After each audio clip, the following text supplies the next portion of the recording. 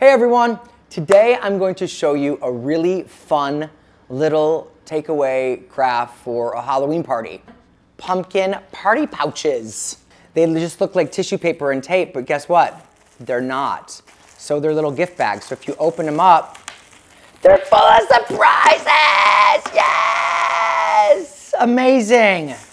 So all you need is some orange tissue paper, some green painter's tape, scissors, maybe a Sharpie if you'd like, uh, and then all these really fun party favor things that you can put in the pouch.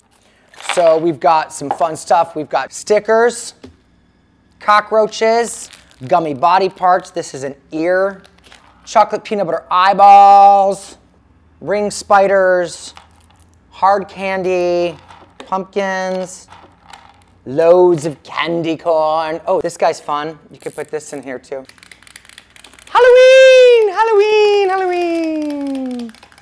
So you're gonna wanna use two sheets of tissue paper so all this stuff doesn't see through the tissue paper because it's thin. And you're gonna wanna gather the ends up together like so.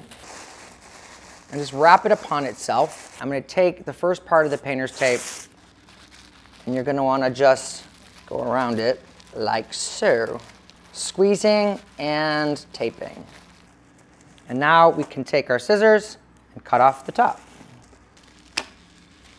So you just want to close it on top of itself. Now you could stop it here, but I think it's fun to have a little bit of a vine coming out of it. So you just take some more painter's tape and then fold the tape around itself. Twisting and turning and twisting and turning. So there you go. And now, if you want, you can even take it another step further. Take your marker